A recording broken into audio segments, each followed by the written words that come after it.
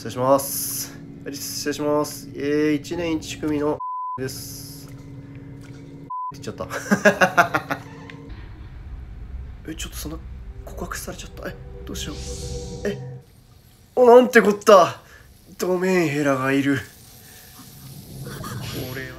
日本全国の任天堂64ファンの皆さん、こんにちは。僕、ドラえもんです。えー、ということで今日は、ゼロ、濡れガラスの巫女、12の雫、彼岸船、彼岸主願ということでね、やっていきましょう。彼岸主願？えー、密かの影は山の頂に広がる湖、彼岸湖の霧の中に消えた。あーなんかあのー私の第一の嫁に、あの、黒沢ひそかさんっていう、まあ、あの、お胸が大きいね、あの、とてもセクシーなお姉さんがいたんですけど、そのセクシーなお姉さんが第3話ぐらいでもういなくなっちゃったんです。で、その影が、湖にいるということでね、えとりあえずちょっと追いましょうということでしょう。でも写真機持ってかれてない？前回、みゆちゃんが写真機を持ってったんだけど。ないよな。思ってる？どういうこと？返してくれくれたってこと？とりあえず行きますか。えー、密かな手帳。誰もが秘密を持っている。決して言えない秘密。誰にも共有できない秘密。失踪する人は誰にも言えない秘密を抱えたまま失踪する。もしかしたら、秘密に押しつぶされて秘密ごと消えようとするのかもしれない。私の秘密も、そして傷も、いつか有利に知られてしまうだろう。でも、そこから初めて本当に心を開いていけるのかもしれない。正面から向き合って始められるのかもしれない。秘密は言おうねということですね。秘密ね。おおどれどれどれどれ？え？え？ちょっと待って、今、え、見たあの子、学生っぽかったよね。え？ちょっとでも可愛くなかった今の子。ちょっと、ワンチャン。なんもないんかい。えー、ひそかさんはあの彼岸湖の向こうにある水上の宮にいる。夕宮の中にあった船が彼岸船ならここから水上の上に渡れるかもしれない。え、中行けってこと？久しぶりだな、後輩の。ここな、ドメインヘラいるからな。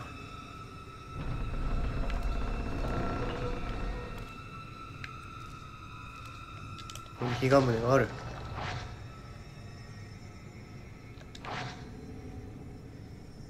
彼岸船。オッケー。とりあえず船に行けばいいんだな。オッケーオッケー。任して任して。まあ確かにね、あの湖をそのままなんかバシャバシャ行ったら確かにダメそうな気するわ。お失礼。水に佇む花嫁。いいですね。船の中に何か残されている。失礼します。えー水の流れる文様が入った白い本、あの花嫁姿の女性のものなのだろうか。私は大柱に選ばれた名誉なことだった片瀬の先の小さな村の女が御山の大柱になる。でも周りの巫女たちは泣いていた。いつまでも泣き止まないから私が慰め役になったということ？私は大柱との黒沢という名字を授かった。今日から柱になるまでほんの短い間私は黒沢仰せだ。なるほど。なるほど。これがヒバンブレだとしたらあの門の向こうが水上の宮とされてるつまり黒沢ひそかは大柱だったということですね。えー、椿の札鍵を鍵受けに刺した扉が開いたようだ。OK 失礼します。失礼します。えー、1年1組のです。っ て言っちゃった。めっちゃ普通に本名出しちゃった。おおよしよしよしよし。格子の奥の影顔見えねえ。はい。でここどこ？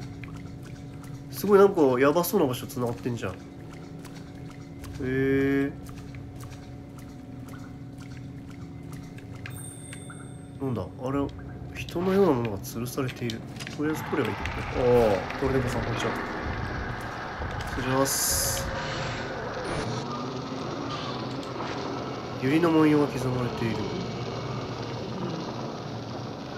どこ？ユリの札鍵をね。ユリって聞くとやっぱテンション上がっちゃう。はいはいはい。おおすごい。箱のあれだね。入れ物がいっぱいありますけど。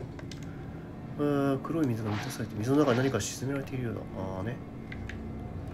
まあ。察しでしょうな。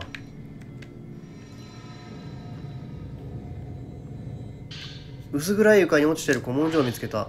力なき者を箱に入れてはならない未婚の素質がなき者あるいは良き者を箱に入れれば箱に入りし黄泉の痛みに耐えられずついえる前に箱は開き陰性のものとなる、うん、なるほど。つまりここにいる人たちはみんな弱き者だったと。所詮あのー、なんだっけ。敗北者じゃけということですね。どんどん進んでいきましょう。おいいと。ああさっきのあそこね。オッケーオッケー。ここで、えー、きっとあれでしょう。落とすんでしょう。でもきっと僕の予想が確かなら、えー、ここのタイミングで落としたら敵が出てくると思います。強化レンズゼロを手に入れるとついに。自分の体力が少ないほど相手にダメージが上がると。なるほど。ついに伏線回収しちゃいました。何か光るものが引っかかっている。穴を緩める。下の階に下ろせそうだ。OK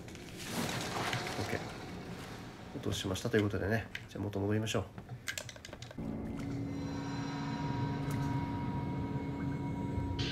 大きな鍵のような黒い箱に。ああなるほどね。入り口のとこね。はいはいはいはい。オッケーオッケーオッケーお察しお察し。承知しました。はい過去の鍵を差し込んだ。何が出てくると思う？そうだな。俺は何が出てくるかってちょっと予想するね。ちょっと待って。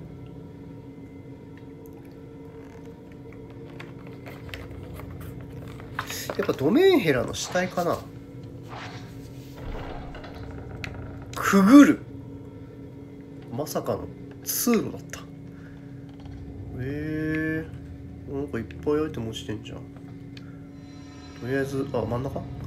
はい。膝を抱えた像の前に小さな箱が祀られている中に鍵が入られている。月の文様が刻まれている。へえ誰？うーんなんか窮屈そうだね。大変そう。えー、見取りの近畿見取りとは人の思いと感情を引き受ける力。力の弱き巫女は触れることで。力の強き巫女は見ることで。そのものの思いと感情を引き受ける。見取りは陰性の力。山の水に濡れ水に心を溶かし水の一部になることでその力はより強められる。死に近づくことでも力はつまり全てが上がるようになる。見取りし思いが強いほど巫女は強き柱となる。なるほど。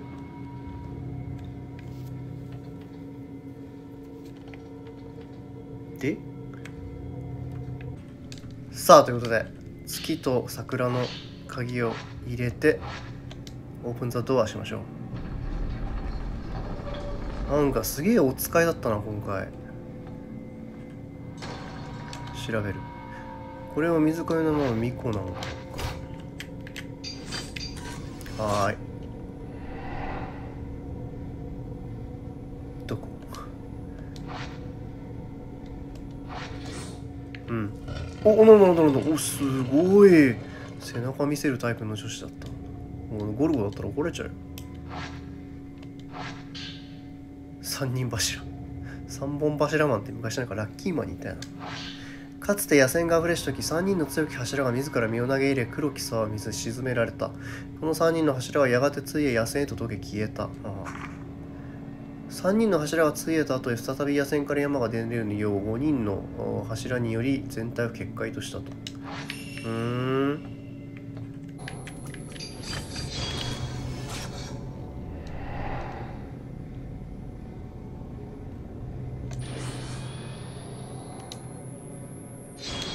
お開いた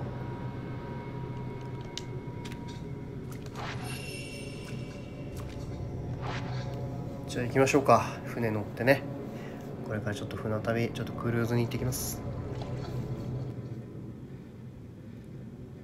どうなる？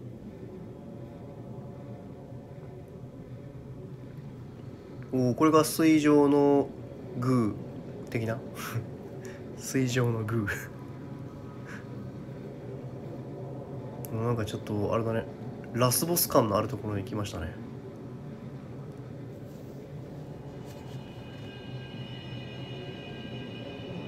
水上水上の宮かなもしかして一体いつになったらひそかしと対面できるんでしょうかねおでもなんかちょっとそれっぽいとこ来たまさかまさかまさかここにひそかしが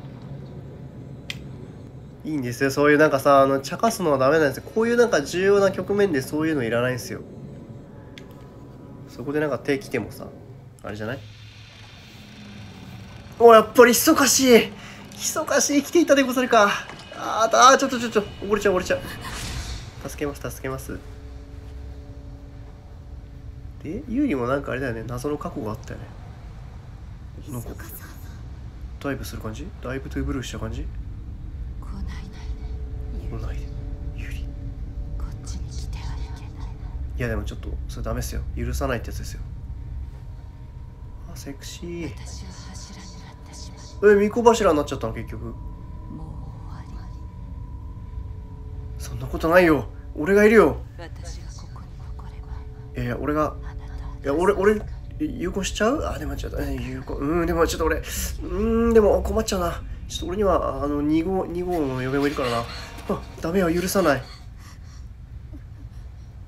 もうちょっと下触ればいいのに。おちょっと逆になっちゃったね。あなたは一人で行こうとしているかもしれない。でもうん今はあなたは一人じゃない。え俺も一人じゃない？一緒にいる間だけでもこっちにいて。少しでもいい。少しだけでもいいの。そうね勝手に行かれるのは困っちゃうからね。死にたいのなら。ええそそんなええちょっとそんな告白されちゃった。えどうしよう。えでも死ぬの嫌だな。思い出しました。あの約束。すごいなんか血だらけみたいになってるけど大丈夫そう？結構助ける感じですよね。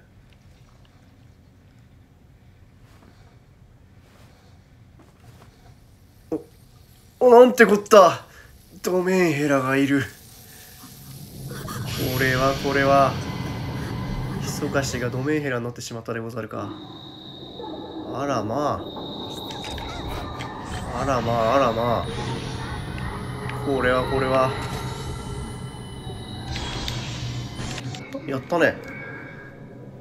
おーひそかさんやっちまいましたかついに。ちょっと触れていい？ひそかし失礼するよ。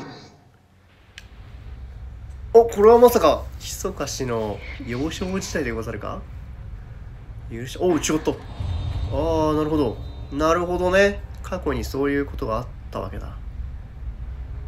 なるほど。救えなかった的なね。守れなかったですね。なるほど。そういう過去があって有利は許さないっていうことだったんだね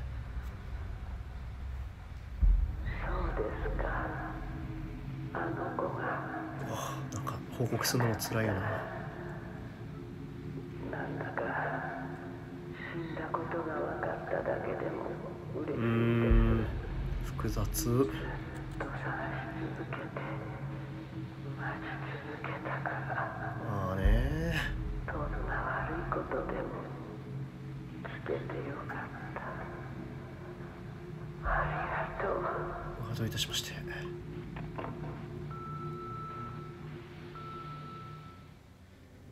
おおひそかしを助けられたでござるか。見つけることができた。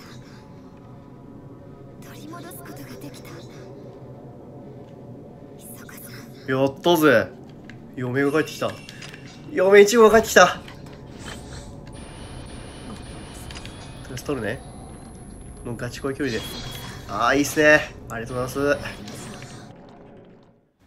す。いやーやっと戻ってきた。これであれだね。ママとひそかし戻ってきたってことだねあーそうかももかちゃんはどうなっちゃったんだろうな。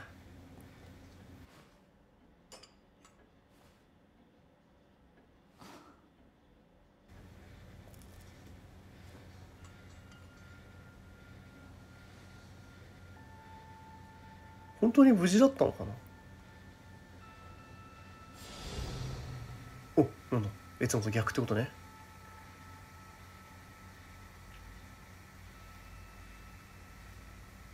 あったかい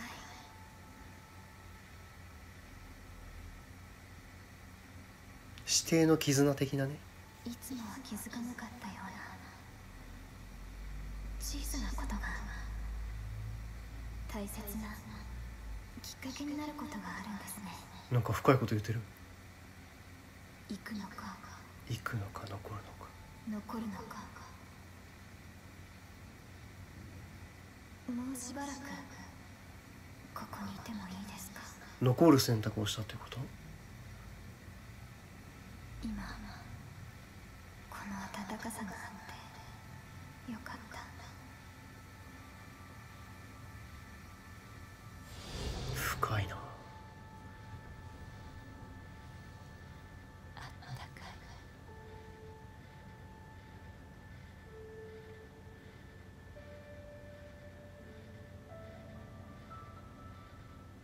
うん。なんか深い終わり方。ユーリは彼岸部により、えー水上の宮へと渡ったと。心は心あふれた巫女たちが最後に送られる場所だったと。改めて心の絆を確かめようになったということでね。いい感じに、えー終了しましたね。ということで、えー今回はここまで。じゃあまたな。